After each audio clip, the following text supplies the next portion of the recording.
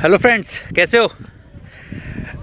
आई uh, hope आप सब अच्छे हो और अभी आप देख सकते हो चारों तरफ़ रेती रेत। मैं जैसलमेर में हूँ सैंड में हूँ वहाँ पे घूम रहा हूँ। आज सोचा आपसे कुछ बात करूँ कुछ चीज़ें शेयर करूँ। अब देखो इंडिया के बारे में लोग बोलते हैं कि यार बाहर घूमने जाना है यहाँ पे घूमने जाना है पैसे कम हैं बजट में फिट नहीं होता पैकेजेस महँगे होते हैं।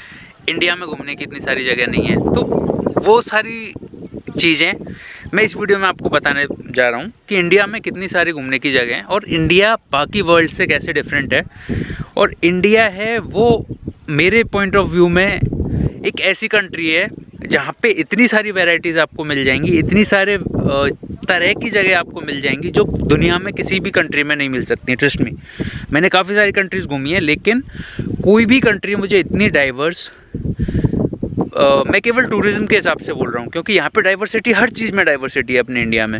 लेकिन केवल टूरिज़्म के बेसिस पे अगर मैं बोलूँ तो इतनी डाइवर्स कंट्री दुनिया में आपको कहीं भी देखने को नहीं मिलेगी।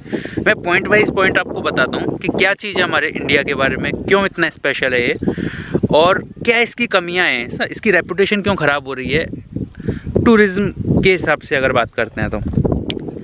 तो दोनों पॉइंट्स मैं धीरे धीरे कवर करता हूँ। तो सबसे पहले मैं बात करता हूँ डाइवर्सिटी की। डाइवर्सिटी की अगर मैं बात करूँ तो देखो, किसी भी कंट्री में जाओ थाईलैंड में जाओ, क्यों फ़ेमस है?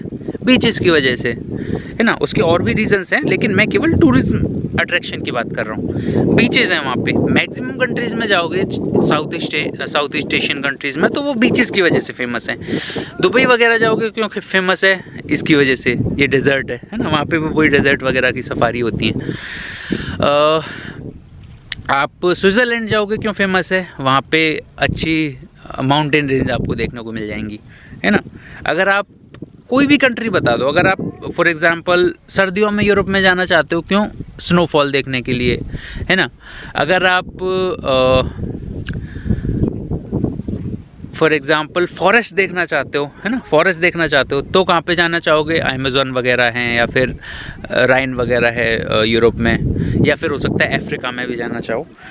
या फिर आप एलिफेंट वगैरह वाइल्ड लाइफ देखना चाहते हो तो आपका जो है वो साउथ अफ्रीका या फिर यहाँ पे जाना आप प्रेफर करोगे। तो ये सारी रेंज होती है ना, ये सारी चीज़ें होती हैं देखने के लिए। और ज़्यादातर कंट्री हैं, उनमें से कोई एक चीज़ को पकड़ के उनका टूरिज़्म है, वो पूरा चलता है।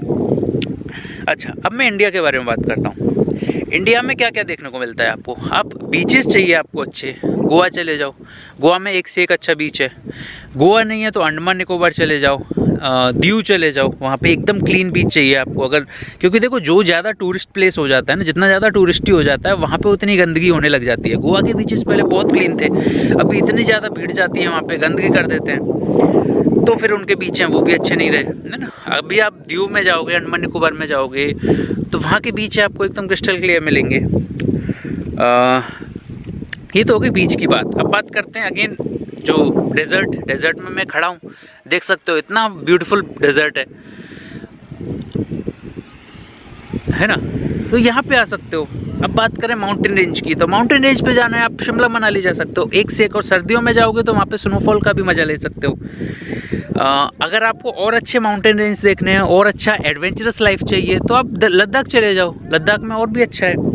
अगर आपको एकदम विलेज वाली लाइफ देखनी है। आपको एक शांति वाली लाइफ पसंद है। नॉर्थ ईस्ट में घूमने चले जाओ। सबसे अच्छी जगह है। वहाँ पे सफ़ाई भी इतनी ज़्यादा होती है। इनफैक्ट एशिया का सबसे क्लीन जो विलेज है वो भी हमारे नॉर्थ ईस्ट में है। अगर आपको आ, से हिल स्टेशन पसंद है तो हिल स्टेशन की कमी नहीं है। आप साउथ में जाओ हर जगह पे हिल स्टेशन होगा। है ना? चाहे मुनार चले जाओ आप चाहे आप महाराष्ट्र में रहते हो, माथेरन चले जाओ, अगर आप यहाँ पे भी देख रहे हो राजस्थान में तो यहाँ पे भी माउंट आबू है तो हर जगह आपको हिल स्टेशन देखने को मिल जाएँगे। अगर आपको से कुछ मॉडर्न लाइफ एकदम वे, वेस्टर्न टाइप की लाइफ पार्टी वगैरह क्लबिंग वगैरह पसंद है तो वो भी आजकल हर जगह होते हैं ना। हर जगह आपको हर तरह की लाइफ जीने को मिल जाती है। तो अब बात ये आती है कि देखो दो फैक्टर दो दो चीज़ें दिमाग में आती हैं। पहली चीज़ तो ये दिमाग में आती है तो इतनी सारी चीज़ें हैं तो हमको इंडिया क्यों इतना पसंद नहीं आता हमको क्यों बाहर की लाइफ ज़्यादा अट्रैक्ट करती है? तो उसका देखो बेसिक सा रीज़न ये है कि हम इंडियंस हैं यहाँ पे इंडिया में रह रहे हैं तो अपनी चीज़ की वैल्यू थोड़ी कम होती है है ना? तो एक तो ये रीज़न हो जाता है। अच्छा ये तो हमारे लिए हो गया। लेकिन अगर वर्ल्ड लेवल पे देखें तो और चीज़ें जितनी ब्यूटीफुल दिखती हैं इंडिया की चीज़ें उतनी क्यों नहीं दिखती? ऐसा अगर आपके दिमाग में डाउट आता है तो उसका रीज़न है यार हम खुद। हम खुद इतने लापरवाह हैं हम खुद इतने आ, अपनी कंट्री के लिए हमको इतना प्राइड नहीं है इतना हमारी रिस्पॉन्सिबिलिटी नहीं लेते हैं हम। अब यहाँ पे भी जाओगे देखो इतना ब्यूटीफुल ये आ, है। लेकिन अगर आप, मैं यहाँ पे देख नहीं रहा होगा, लेकिन अगर मैं दिखाना चाहूँ तो यहाँ पे भी लोगों ने आते हैं बियर पी, बोतल पी, यहाँ पे फेंक गए। अब यार ये रेगिस्तान है, इतना बड़ा रेगिस्तान है, यहाँ पे कौन उठाने आ रहा है इनकी बोतलों को? ये ऐसी पड़ी रहेंगी। यहाँ पे ऐसे ही साल साल दर साल साल दर साल ये बढ़ती जाएँगे कुछ टाइम में, ये पूरा डेजर्ट इतना ब्यूटीफुल एरिया है। ये पूरा यहाँ पे कचरा कचरा पात्र बन जाएगा यहाँ पे डस्टबिन बन जाएगा ये। तो ऐसा नहीं करना चाहिए यार। कोई भी है एज ए इंडियन ये रिस्पॉन्सिबिलिटी लो। अगर यही इंडियन यार यूरोप घूमने जाते हैं या और कहीं घूमने जाते हैं, वहाँ पे ये प्रॉपर नियमों का पालन करते हैं। प्रॉपर सिंगापुर जाते हैं तो एक गलती नहीं होने देते। क्यों? क्योंकि अगर वहाँ पे कुछ किया तो इतने हज़ार डॉलर का फाइन पड़ जाएगा, पाँच सौ डॉलर का फाइन पड़ जाएगा। तो यार ये ज़िम्मेदारी है, सफ़ाई की ज़िम्मेदारी, ये फाइन देख के आनी चाहिए क्या? खुद से ज़िम्मेदारी नहीं आनी चाहिए। आपको बियर पीनी है, पियो यहाँ पे बैठ के आराम से। लेके इतनी ज़िम्मेदारी नहीं है कि वो बैग में रख के अपने होटल में जाके डाल दो। आप कुछ खाना खा रहे हो, खाओ यहाँ पे बैठ के। ऐसा नहीं है कि उसका जो पार्ले जी के पड़े हुए हैं यहाँ पे रैपर इनको आप रख रख के अपने बैग में, अपने होटल पे जाके छोड़ दो। इतनी ज़िम्मेदारी तो हमको एटलीस्ट लेनी चाहिए। और ये छोटी छोटी सी चीज़ें हैं ना, ये मल्टीप्लाई होती हैं। एक जना अगर तीन चीज़ें फेंक रहा है तो यहाँ पर इंडिया की पॉपुलेशन सेकेंड लार्जेस्ट है है ना? यहाँ पे इस हिसाब से अगर चलेगा तो बताओ कैसे मतलब हमारी जो देखने वाली चीज़ें हैं, वो अच्छी रहेंगी। और कल को अगर कोई वेस्टर्न कंट्री से यहाँ पे आता है, या अब्रॉड से कोई भी आता है इंडिया के अलावा और जगह का घूमने वाला आता है कोई यहाँ पे तो उसको भी वो चीज़ अच्छी लगेगी, लेकिन उनके यहाँ, उनको इस चीज़ की आदत नहीं है ना। उनके यहाँ तो प्रॉपर नियम फॉलो होते हैं, उनके यहाँ तो ऐसे गंदगी कर ही नहीं सकते। तो उनको जब ये चीज़ दिखती है तो यार वो बड़े डिस्गस्ट होते हैं, और इंडिया की बुराई करते हैं बाहर जाके। तो देखो, बुराई का और अच्छाई का दोनों का सेम फार्मूला चलता है। अगर आप किसी चीज़ की बुराई करते हो तो समझ लो वो आठ से दस कस्टमर आपके कम करता है टूरिस्ट कम करता है, और अगर अच्छाई करते हो तो वो, हो सकता है आठ दस टूरिस्ट वो लेके आएगा। लेकिन हमारी गलतियों की वजह से, हमारी ये छोटी छोटी बुरी आदतों की वजह से, हम अपने इंडिया का टूरिज़्म ख़राब कर रहे हैं यार। तो ये चीज़ आप ध्यान रखो। तो आप भी कहीं जा रहे हो तो ये फैसला देखो, ज्ञान देने से नहीं होगा। मैं आपको ज्ञान दूँ या फिर आप किसी को ज्ञान दो कि ऐसा नहीं करना चाहिए, ऐसा सबको पता है। उससे नहीं होगा, ज़िम्मेदारी लेनी पड़ेगी इंडिविजुअल लेवल पे। आज ये सोच लो कि मैं कहीं पे भी जाऊँगा तो मैं ऐसा कचरा नहीं करूँगा।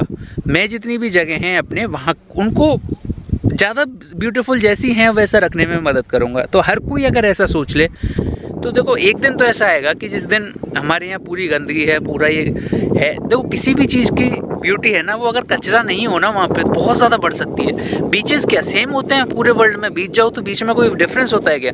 लेकिन एक बीच देखो, मुंबई के, वहाँ पे कितना कचरा खया हुआ है। एक बीच देखो आप दीव के, है ना? या फिर एक बीच आप जाके देखो, कोई थाईलैंड के किसी आइलैंड पे जाओ। वहाँ के बीच देखो तो इतनी सफ़ाई, इतना डिफरेंस क्यों होता है? केवल इस वजह से होता है क्योंकि वहाँ के लोग जिम्मेदार हैं। तो वो ज़िम्मेदारी हम नहीं ले सकते क्या यार? और दूसरी जो सबसे ज़्यादा डिस्गस्टिंग चीज़ है, दूसरी जो सबसे ज़्यादा बुरी चीज़ है जो इंडिया को जिसने बहुत ज़्यादा इनफेमस किया हुआ है, वो है रेप है ना? वर्ल्ड मीडिया में ऐसा बना रखा है कि इंडिया स्पेशली फॉरेन की जो सोलो ट्रैवलर हैं या फिर फीमेल ट्रैवलर हैं उनके लिए बिल्कुल भी सेफ़ नहीं है। तो ये इमेज हमने क्रिएट कर दी है अपने इंडिया की। तो लड़कियाँ मतलब क्या सोचती हैं? वो सोचती हैं कि हम इंडिया में घूमने आएँगे तो हमारा रेप हो जाएगा है ना? ऐसा है यहाँ पे मतलब बिल्कुल भी आ, इस चीज़ के लिए टॉलरेंस नहीं है बिल्कुल भी इस चीज़ के लिए अच्छा नहीं है। तो ऐसा एक माहौल बनाया हुआ है। तो यार ऐसा पहली बात तो इस चीज़ को यार क्यों करते हो ऐसा? कोई अगर तुम्हारे घर में मेहमान आ रहा है ना? अगर कोई घूमने आ रहा है बाहर की कंट्री में तो हमारे लिए मेहमान है ना वो? हम अतिथि देवो भव मानते हैं ना? तो अगर कोई मेहमान आता है तो यार उसके साथ, उसको अगर आप रिस्पेक्ट करोगे, उसको अगर चार चीज़ें बिना सेल्फ कुछ सेल्फिश मोटिव के कुछ चीज़ें बताओगे तो वो कितना अप्रिशिएट करते हैं इस चीज़ को, पता है? वो बहुत अप्रिशिएट करते हैं। लेकिन अगर आप कुछ ऐसी छिचोरी हरकत करोगे या फिर उनको लूटने की कोशिश करोगे? अब ज़्यादातर कंट्रीज़ में जाओगे ना, वहाँ पे ऐसा नहीं होता कि मेरे लिए चीज़ दस की और अंग्रेज़ आ रहा है तो उसके लिए सौ की है। ये भी चीज़ें मत करो यार। इस चीज़ से क्या मिल जाता है? आजकल इंटरनेट पे सब पता होता है, लोग सब चेक करके आते हैं कि कौन सी चीज़ें कितने की मिलती है। अगर आप उस चीज़ को दस गुना जाके बढ़ाओगे तो वो चीज़ उनके लिए पूरी कंट्री का इमेज ख़राब होता है उस चीज़ से।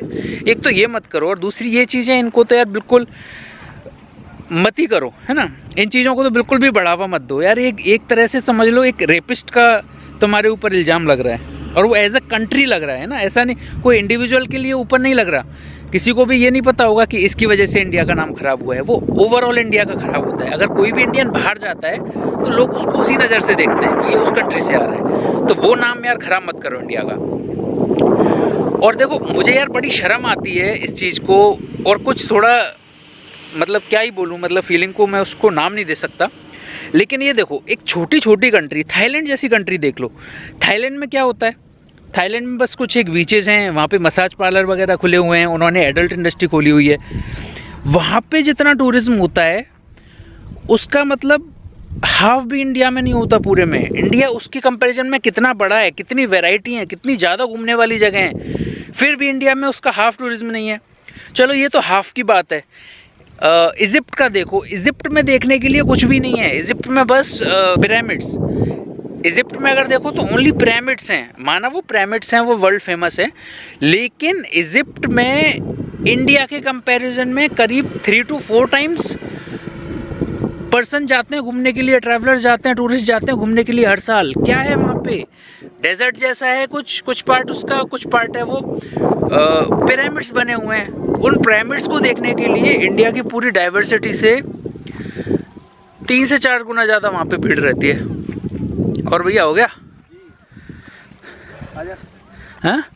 अरे घूम लिया भाई घूम लिया बैठ के फ़ोटो तो बता तेरे को फैमिली को। कौन नहीं? देख तो सही फैमिली की डिज़ाइन तो बता जाए से हम बैठे हैं सर मैं क्या वीडियो बनाता हूँ? वीडियो डालते हैं। हाँ, चलो तुम देखो। बैठ के हम वीडियो बनाते हैं अच्छा नहीं अभी शूटिंग चल रही है थोड़ा बात बात बात कर रहा हूँ मैं। हाँ। तो वहाँ पे है वो तीन से चार गुना उसका ज़्यादा वहाँ पे टूरिस्ट रहते हैं। तो उस चीज़ का क्या रीज़न है? उस चीज़ का सिंपल ये रीज़न है कि वहाँ पे जाने में लोग सेफ़ फील करते हैं। सेफ़ फील केवल एक फैक्टर है। देखो, अगर आपको लगता है कि हाँ इंडिया तो सेफ़ है ही इतनी ज़्यादा दिक्कत नहीं है ऐसा कुछ नहीं है सब वो तो हर कंट्री में होता है। ये यार हमको लगता है। अगर सोचो तुमको मैं बोलूँ नॉर्थ कोरिया जाके आओ। तुम तुमको मैं बोलूँ कि पाकिस्तान जाके आओ। तुमको मैं बोलूँ अगर ऐसे किसी कंट्री में जाओ फॉर एग्ज़ाम्पल नॉर्थ कोरिया या या फिर पाकिस्तान या फिर ऐसी किसी कंट्री में जाने को बोलूँ तो ऑब्वियसली आपको डर लगेगा ना सिक्योरिटी पर्पज से। तो वो डर है वो टूरिस्ट के मन में इंडिया के लिए हो जाता है। तो वो डर क्रिएट मत करो। फॉर एग्ज़ाम्पल बाली को देखो।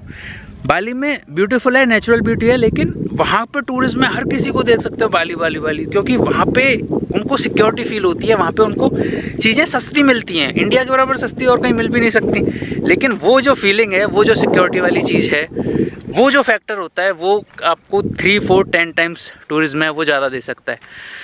तो आई होप इन चीज़ों पर आप अमल करोगे, इन चीज़ों को फॉलो करोगे।